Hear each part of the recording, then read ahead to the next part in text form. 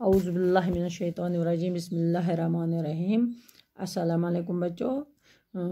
آج جو ہمارا ٹاپک ہے، سبق ہے، وہ ہے بابا غلام شاہ بادشاہ کا دوسرا حصہ۔ شہدرہ شریف ریاست جموں کش، جموں و کشمیر کے سرحدی ضلع رجوری کے عین شمال میں واقع ایک قصبہ ہے۔ سطح سمندر سے اس مقام کی بلندی پانچ ہزار سات سو فٹ ہے۔ ریاست کے سرمائی راجدھانی جموں سے اس مقام کی مسافت ہو گیا۔ فاصلہ ایک سو اکاسی کلومیٹر ہے۔ دو پختہ سڑکوں کو شہدرہ شریف تک رسائی دی گئی ہے۔ ایک سڑک پنچ اور سرن کوٹ کی کوٹ کی طرف سے ڈیڑا گلی اور تھنا منڈی سے ہوتے ہوئے شہدرہ شریف پہنچتی ہے۔ دوسری سڑک جموں سے رجوری اور رجوری سے تھنا منڈی ہوتے ہوئے شہدرہ شریف پہنچ جاتی ہے۔ جموں سے شہدرہ شریف کا راستہ زائرین کو زائرین مینز جو زیارت کرنے آتے ہیں، کو پہاڑی سلسلے کے دلکش منظر سے محفوظ کرتا ہے۔ شمال میں ڈیڑا گلی، چمیڑ گلی اور نیزا پہاڑ حسین منظر پیش کرتے ہیں۔ اس علاقے سے بابا صاحب علیہ رحمہ رجوری میں داخل ہوئے تھے۔ یہاں کا ہر موسم لاجواب اور دل پذیر ہوتا ہے۔ فطرت کی رنگا رنگی فطر مینز قدرتی کی رنگا رنگیوں سے مالا مال علاقے کے مناظر دیکھنے کے لائق ہیں۔ زیارت شریف کا سبز رنگ کا گمبد، انگوٹھی کی نگینے کی طرح چمکتا ہوا نظر آتا ہے۔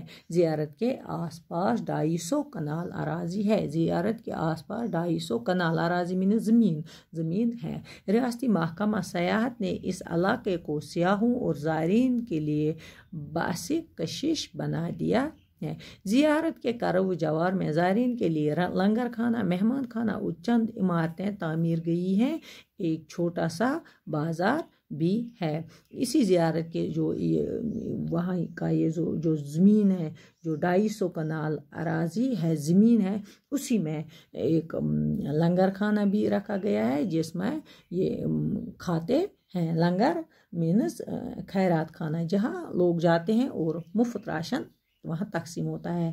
مہمان خانہ اور جہاں وہ جو دور دور سے زائرین آتے ہیں، رات کے لیے ٹھہرتے ہیں، ان کے لیے وہاں جگہ بھی بنا، رہنے کے لیے جگہ بھی بنائی گئی ہے اور چند عمارتیں تعمیر گئی ہیں اور چھوٹا سا بازار بھی وہاں ہے۔ بابا غلام شاہ بادشاہ نے ستارہ سو ستاسٹھ عیسوی تا اٹھارہ سو آٹھ عیسوی کا عرصہ شہدرہ شریف میں ریاض، عبادت و ریاضت میں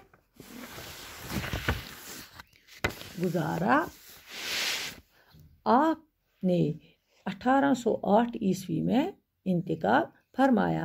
آپ نے متد کرامتیں ظاہر کی۔ بلا امتیاز مذہب و ملت سے دور دور سے لوگ یہاں آتے ہیں۔ اور روحانی فیض حاصل کرتے ہیں۔ بابا غلام شاہ بادشاہ کے نام پر دھنور رجوری میں ایک یونیورسٹی قائم کی گئی ہے، جہاں جدید تقاضوں کے مطابق، جدید نئے، نئی ضرورتیں کے مطابق مختلف سائنسی اور تکنیکی مضامین کے تعلیم کی تعلیم دی جا رہی ہے۔ بس آج کا سبق اتنا ہی کمپلیٹ ہوگا۔ انشاءاللہ کل ہم اس کے کوشچن کریں گے۔ باقی وسلم